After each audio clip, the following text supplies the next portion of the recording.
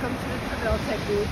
Today we're going to talk about uh, the neck and exercises that you can do to, to stretch and tone your neck when you have a short break. So starting by taking nice full breaths, long exhales, and then tip-top your head from side to side. Twice. And then move your chin in one direction and the other direction.